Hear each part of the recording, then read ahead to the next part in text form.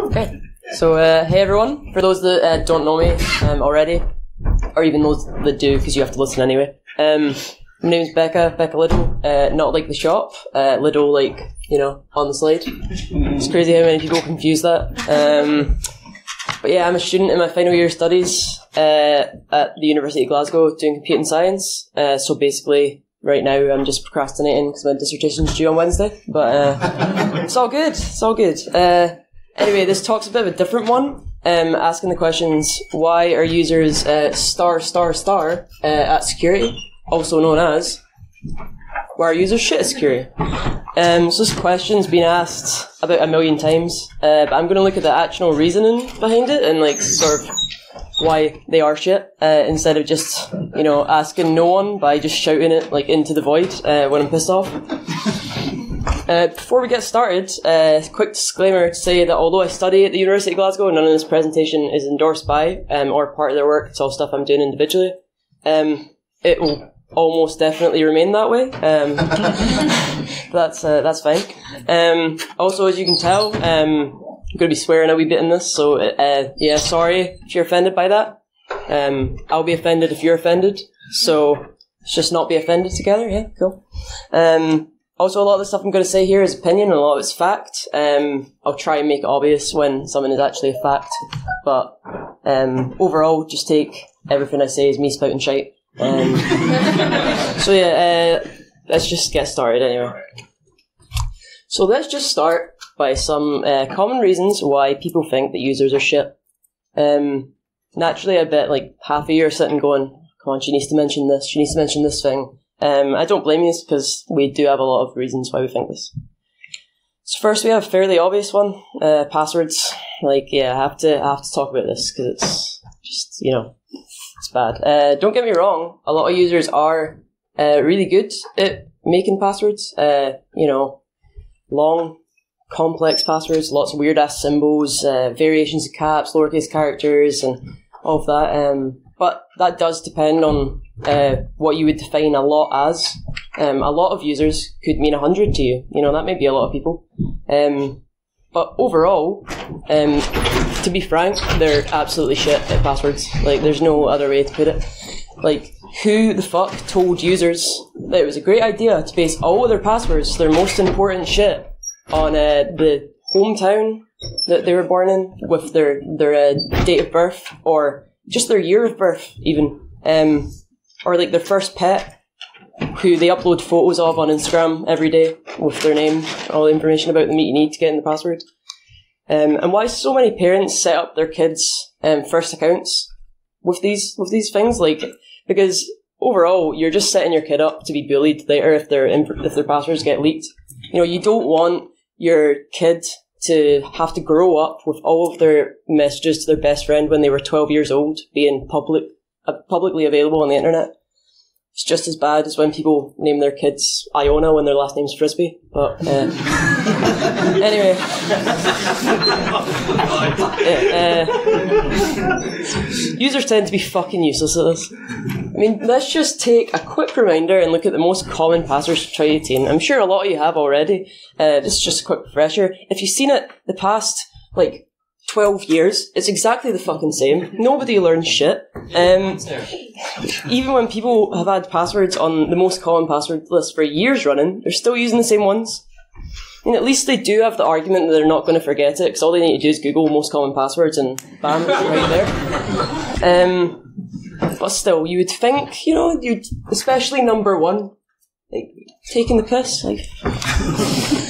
Yeah, that's it. That's just one reason. Uh, next, we have uh, privacy settings. Oh yeah, so you know that some people actually don't know these things exist. Like, I shit you not. Uh, the other day, someone genuinely said to me, "How come I can't see your friends list on Facebook, even though I am in fact friends with you?" Oh, re- you can change that, really? I was like, "Yeah, you you can." If you actually looked at your settings, like ever, just to glance, like um, privacy settings really aren't helped by some people around my age. Um, a lot of older people do it as well, but it's more popular now. Um, being so obsessed with getting the most likes or the most retweets or the most shares of uh, posts, so they just point blank refuse to put um, to make the things private because otherwise people can't retweet their tweets. Um, And if that's what's most important to someone compared to, you know, actually having uh, privacy, then, you know, if they're really wanting that, that Instagram fame and that famous lifestyle, then people could potentially just get your address um, and turn up at your house, and then you'd have like that crazed stalker fan thing going on. So if that's what you want, that's fine. Um, yeah, there are lots of articles being published that I've seen really recently. They've always kind of been being published, but um, specifically surrounding Facebook, Google, and Instagram. Uh, like this article published last week by Consumer Reports, uh, which is about how to use Facebook privacy settings. Uh, like I said, they've also got similar ones published around the same time um, Google and Instagram. Articles like this are genuinely written with the aim of just trying to help people um, and walk them through how to change their privacy settings to make things a little more secure but let's be honest, some users won't even see them. And then when people do see them, they'll just be like, oh, I don't need to do that. Well, that's fine. So this leads me on to my next point, where we have the I have nothing to hide anyway users. Uh, they get suspicious um, whenever your account's on private and automatically think you're uh, a drug dealer or um, a lot worse. That was just the safest thing I could say. um, with a dark and hidden secret. Um, so, for example, I recreated my Facebook account about a year or two ago, just before GDPR kicked in. Um, obviously, this was just the start of Facebook's uh, issues with privacy, but um, well, that's debatable. Um, but yeah, so when your Facebook data, um, when you deleted something from Facebook, they still kept it because why wouldn't they? Um, if anyone remembers that. So the amount of people that messaged me after GDPR hit and I recreated my Facebook, um, you know, I was getting phone calls asking if I'd been hacked. You know, if someone was trying to impersonate me, and I was like, no, it's just me making a new Facebook. It's nothing. Um, and they thought it was so weird that I made a new one. Um, especially my family, who were just like, what were you saying when you were like 12 that was so bad that you didn't want a private company to have it? It's like, well, I just wanted some privacy. There's nothing wrong with that. Um, you should want some as well. I mean, even though people say that they have nothing to hide all the time, they complain so much about, um, say, if the FBI came to them and you know wanted to go on their devices, and they say that they won't unlock their phone for anyone. But I can assure these people that if everything they had ever received or ever sent or um, anything at all from all their technical devices was just published online, uh, they would quickly regret it. So yeah, that's the most infuriating re- infuriating reasons that I personally have for thinking users are shit at security. There are, of course, hundreds more, um, thousands even, that people could think up, and I'm sure that your own personal lists would be very different from mine. So, um, but moving on, we actually have reasons why users think we're shit. Um, as rich as as rich as it is, um, users think we're shit sometimes at security too. It's kind of ironic. Um, but you know, it's it's good to get um, feedback and so on and criticisms. So for the record, this is just looking at we um, as like security analysts, experts, enthusiasts, whatever you want to call us. Whenever I reference we, it's like community, I guess. Um, so yeah, here we go. So firstly, we have uh, this mistrust that seems to be baked into us and ingrained in everything that we do. Um, I'm sure that sometimes it's a good thing, and it's no wonder. Like, obviously, we know how easy it is, um, as you've seen in Stu's keynote this morning, like, to get people to hand over their details and so on. Um, it means that we won't fall for phishing emails where HMRC are trying to give you money. Um, like, be realistic. If you ever are, you know, owed money from HMRC, they're going to avoid trying to contact you.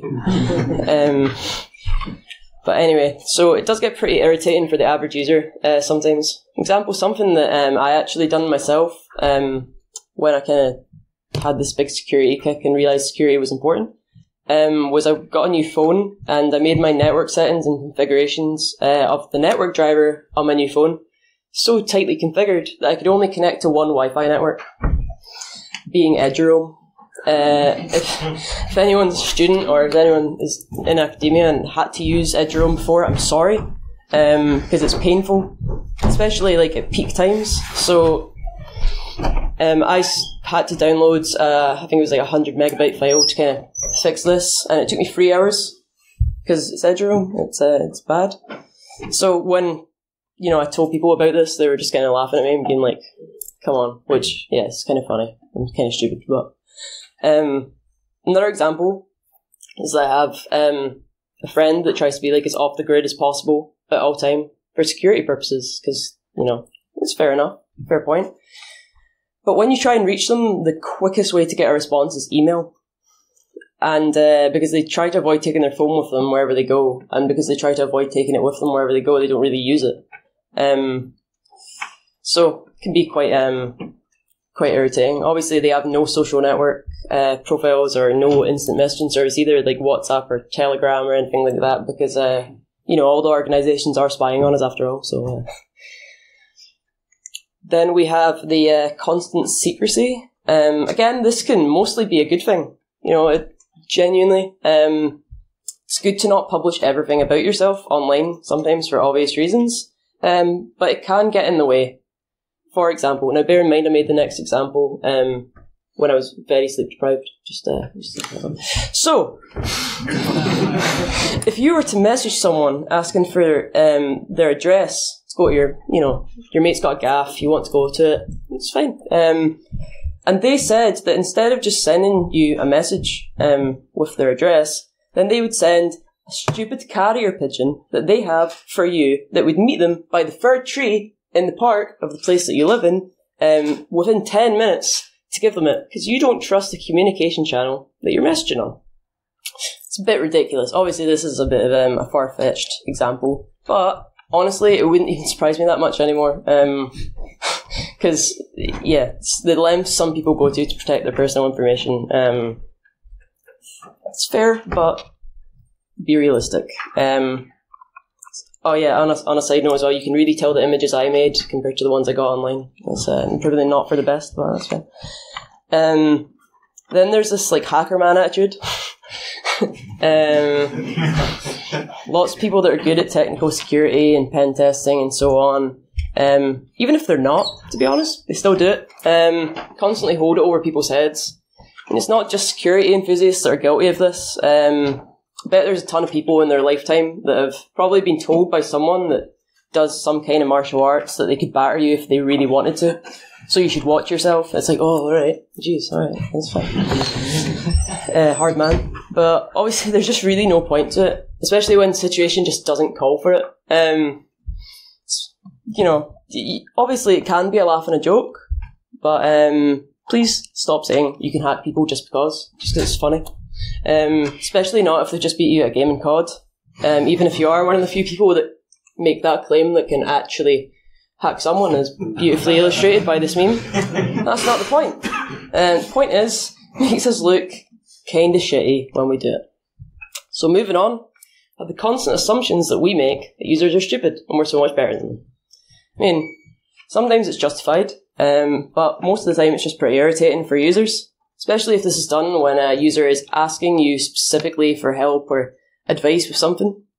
Explaining something to someone like they're five years old isn't going to make them feel good about the answer you just gave them. It's just going to make them feel stupid and small it's important to sometimes remember that everyone needs to learn. And if someone's coming to you for advice or asking you about security setting or something like that, uh, don't be a dick about it because they genuinely are trying to draw something from you. It's it's a compliment, really. Um, it will probably just make them regress further into the realm of uh, no security if you do make them feel bad about it as well, because uh, they'll just probably think they can do it themselves and they can sometimes, but sometimes, sometimes maybe not.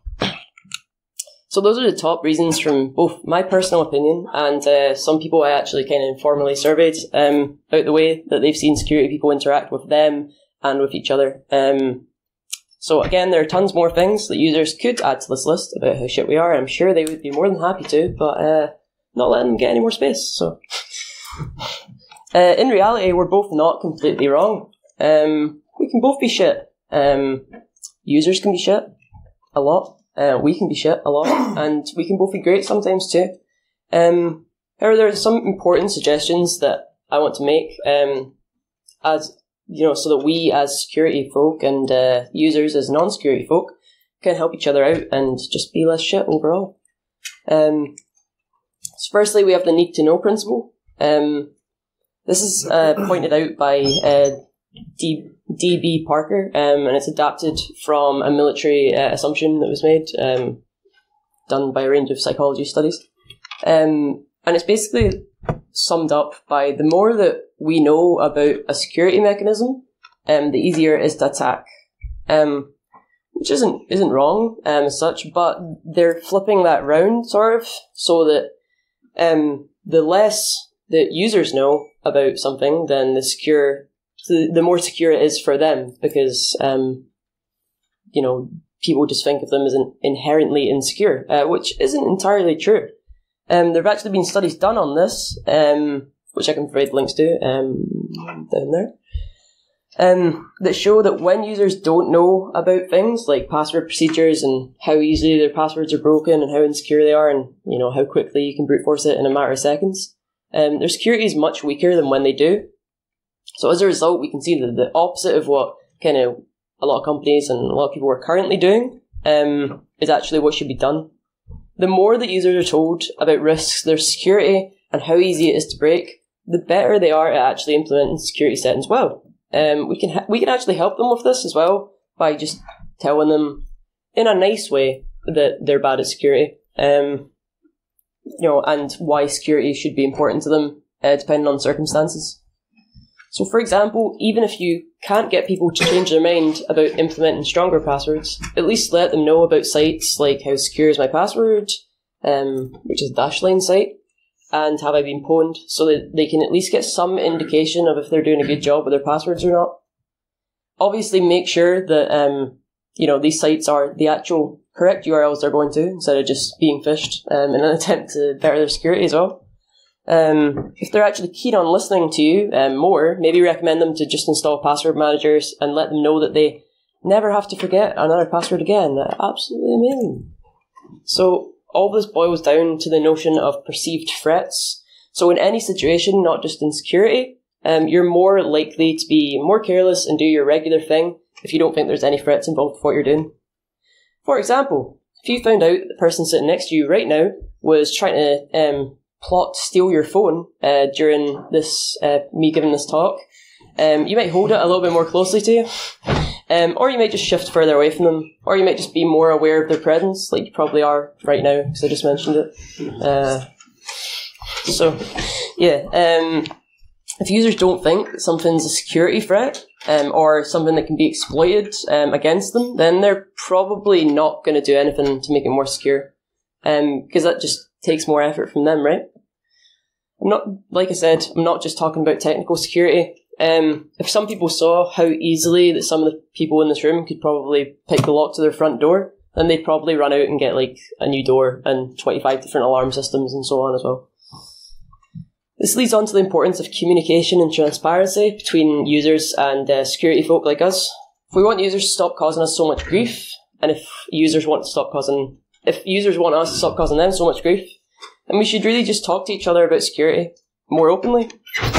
You can go out and tell someone that you probably guess their password within five minutes or five tries even. Um, and it's not always a bad thing. Um, just kind of gauge the situation though. You know, you don't want to be doing that. You know, if someone's just had a really hard day, um, maybe a bit annoying.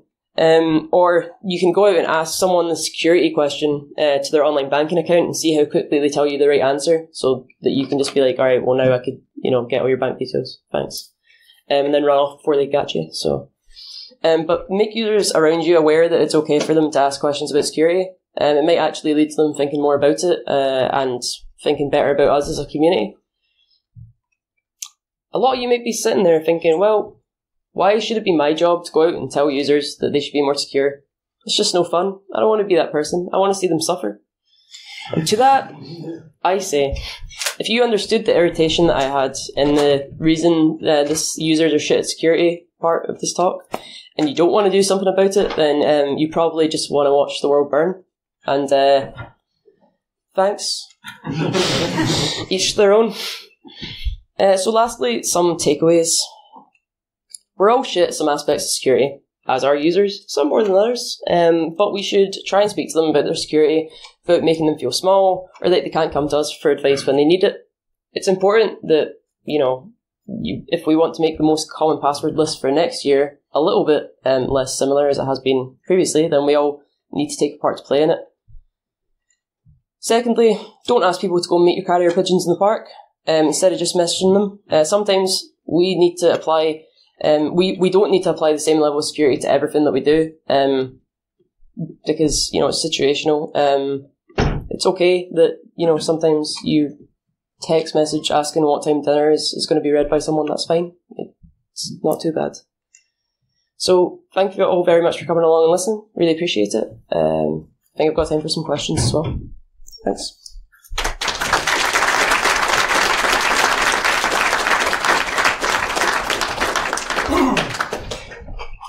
Questions? Yep. What do you think of the, the people who I think are really shit, which are the software engineers that build the shitty systems that the users have to use? Um, I think that an effort should be made. I mean, I'm from a software engineering like background. If thanks, it's fine. No, my uni, my uni like specializes in software engineering. Um, basically, I think it's just bad. It's baked in from the start. Like we, for instance, we have to do one security course. It's compulsory, and that's it. And it's just like this is encryption. and I'm like, and you're going to send these people out, and they're going to be fully fledged software engineers. Like you're having a laugh. Um, uh, so yeah, they should be taught more about security. It shouldn't just be up to security people to go and fix their mistakes, especially when the software engineering team is like 20 times the size of the security team. Um, something that is hopefully going to be changed. Um, there is becoming more of an emphasis on security. Companies are doubling the sizes of their security teams, which I kept keep getting told at graduate events. So um, we're tripling our security. I'm like, great, cool, thanks. Um, but yeah. Yep. Do you think we'll still have all these problems in like 30 years when all like old people die? It's just, it's just us young people that grew up with this stuff. Um, hopefully not. But like I said, there's like influencers and stuff on Instagram and like fitness models and stuff that are just like, I'm not going to make anything private because people aren't going to see my posts. And that's becoming much more of a push in this generation. Um, a lot more people do that uh, and try and make money off of it and monetize. And so I think some. I would like to say people are going to be more aware of it, but whether people are going to care about it, uh, I guess we uh, can have a part to play in this, like I was, was saying as well. Yeah, you had a question as well. I was going to do another what about. I'm sure you know what about. What about people who run InfoSec and industry events and making sign up and be real um, well, um, I get yeah, it's it's the same thing. Like sometimes people um don't think about things like this. Some people sometimes people have the view that I have that like sometimes people who run conferences work in InfoSec don't think about it. What God help do we have? but there's also good reasons to take people's real identities when you're at an event where people get harassed and so on. But you're not checking identity. You're not checking the PS not the source. What you do is checking the name and the email address. Look at my card. Personally, I would say that um, it would be better if people, you know, the event organizers took your real names and stuff, and then um, give you the option of, you know, what you want displayed on your card. I think that's the best way to do it. Just say it at B-Sides uh, Scotland, you don't care if it's your real name or your fake name. You know, we're at a conference right now, right? and you're like, Aberdeen is Any other questions? Feel free. What are the things that you would want users to know if you could just like get hold of them and say, "Do this"? What, like you mean by like grabbing them and shaking them? Yeah. yeah. Um, like that privacy settings exist, I suppose, and that their passwords are probably already online, and changing one digit or making it the next year along um, isn't going to make it more secure. So, so many people have that misconception. Um, yeah, and just really how you know they can. There's probably a map somewhere um, online, even if it's private to them, um, of like everywhere they've been at some point, like what Google does, where it tracks you, like in the background. It's uh, people don't know that unless they like look into it a lot of the time. So maybe just kind of making them more aware of stuff like that. So say you had that conversation and you say, you know, security privacy settings exist, mm.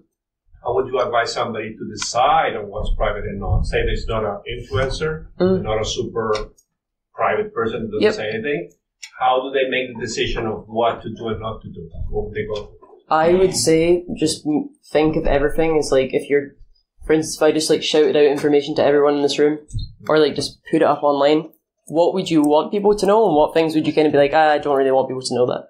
Um, kind of decide based on that what you don't have to make as secure as, and then if it's a site-wide thing, um, like for example, people want private messages to remain private, um, but some information they don't really care about, um, just sort of implement as much security as you see fit. Um, and then obviously, hopefully that will lead to them asking you what you see fit. And, and so- Obviously, with passwords, length's going to be an issue. What would you say is good length, and is something too long unsafe? Um, it's a bit of a, didn't expect that question today. Uh, but um, no, I would say that um, I would say that.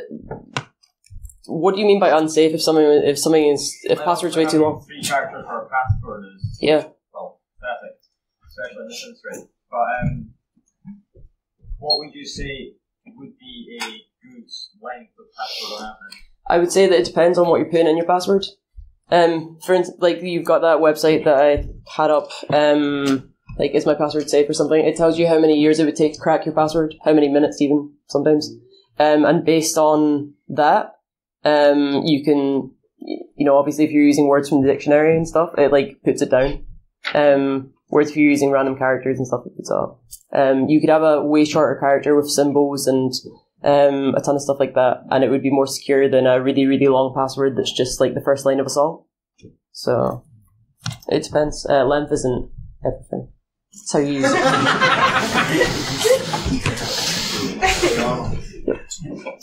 Uh, you explained about the users uh, have a lack of knowledge and security. Mhm.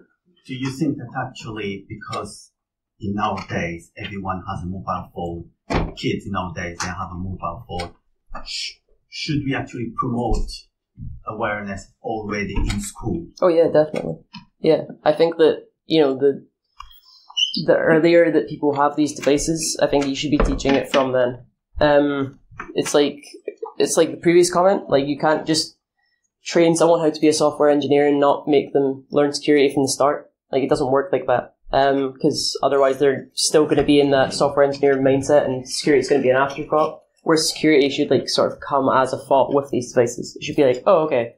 Um, first thing I do, what's my password going to be? Okay, well, how secure do I need to make this password? So on. So. Uh, just one more question, yeah. Um, with two-factor authentication uh, becoming more prominent, Mhm. um, maybe more for us instead of general users, do you think that eventually uh, bad passwords will be a much smaller problem than it is today? It depends on how the two-factor authentication has been done. For example, um, Google has like their thing where you just gonna unlock your phone and click yes and then match number on screen. But if you don't have your phone or if you're logging in from a different browser or something, or your security settings are quite tight, which I assume most people in this room will have them, um, it often doesn't let you do that and it has to input your password. So if passwords are still an option as a sort of authentication mechanism, then they still need to be just as secure, I would say. Okay. Well, uh, thank you very much for coming along. Thanks for your group.